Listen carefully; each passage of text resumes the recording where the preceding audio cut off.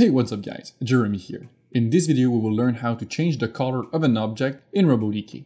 Let's get started. In the first video of this module, I showed you that you could use here objects to create some light signal showing the status of the scanning process here in your station. So in this case here, during the scanning process, we show the light red. As soon as scanning process is done, we show the light green, and then we just uh, turn off the light until we start back a new scanning process.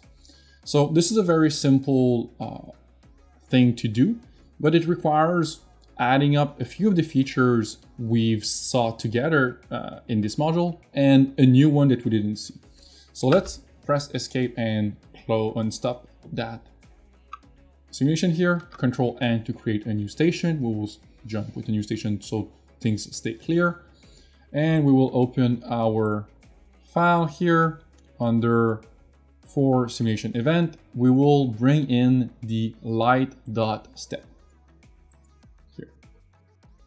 So this is uh, a simple light. So pretty much just a cylinder, half a sphere and a smaller cylinder at the bottom here. For now, it's simply completely gray. There's two ways you can change the colors of a an object like that. You can either double click double click on it, click more options, and select change color. That will bring in the change color panel.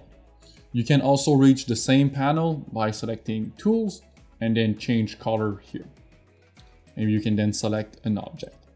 So if you select an object like that, it will show you uh, the colors that are part of that object. So in this case, we only have one color. It's kind of a gray.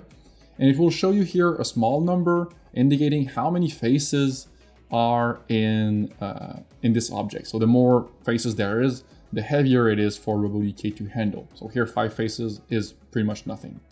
So if we click on it, you will have this little color picker uh, interface appearing. You can select a color. So let's just go for some kind of, I don't know, dark gray. So if we do that, the whole part is now dark gray. If I select the object again and go for something a bit lighter, like that, the whole part got lighter. Or I can go for green and the whole part will be green. So you get the concept.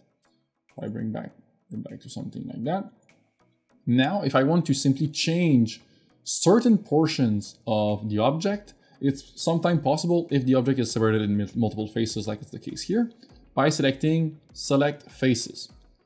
You can then select many faces at a time by holding uh, and selecting and holding control. So I selected two faces here and I click here on the color and then I can select whatever color I want. So let's say if I want to create my green light, I can create my green light like that.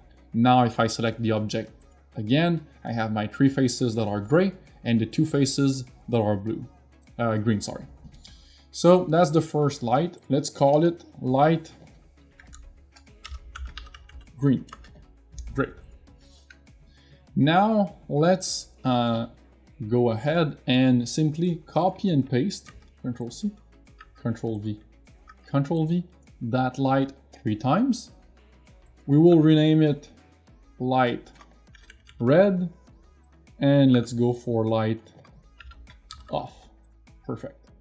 So now it's a bit hard to know which one is which one as they are all on one on top of the other. So I would recommend you hiding the ones you don't want to work with or work on right now. So I can double click the light here. I This is the one called light red. So obviously the colors isn't the right one. So I can click more option, change colors, select just the green color here and turn it to red, let's say. So now, now that's my light red. Cool.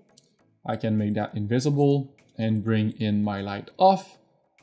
I can double click on it, more option, change colors. Select this one here and I'll go for uh, a darker gray here for this off state.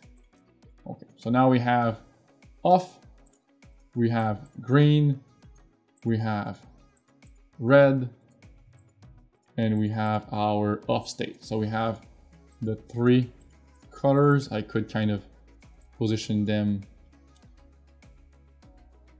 side by side like that.